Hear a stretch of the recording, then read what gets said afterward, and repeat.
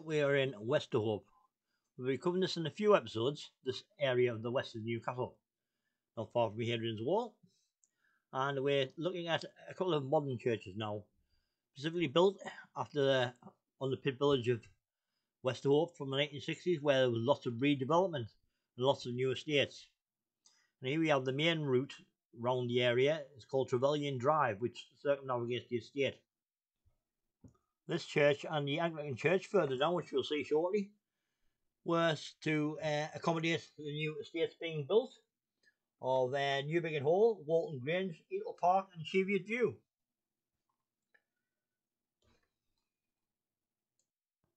Planned in the 1960s by architect David Brown, as seen in Archive and then it was finally built and consecrated in 11th June 1979 and built by Lana of Wakefield. And it's very much similar to the Anglican one we'll see shortly, which is a rectangular shape and uh, looking up it's like pyramidal. And here we have the inside.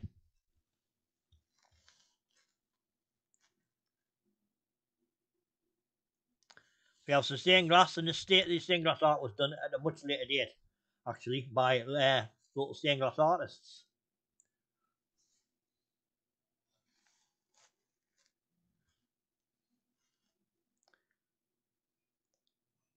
And that's the main entrance way. Going in.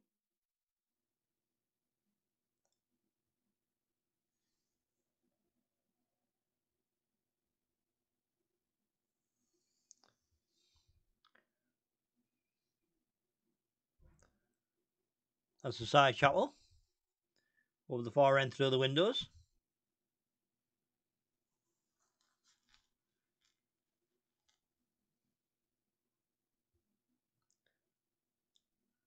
It's much prettier inside than the outside, I think. but uh, it's really, really interesting.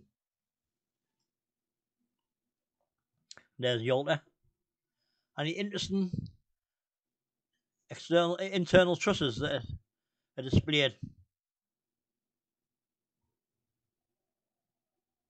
Now trust, trusses exposed right the apex of the roof. Marked externally by a cross finial. And there's the stained glass windows again. And let's head down Trevelyan Drive to the next church. Using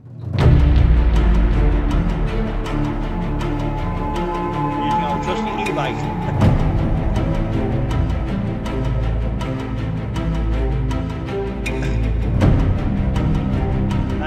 天，天。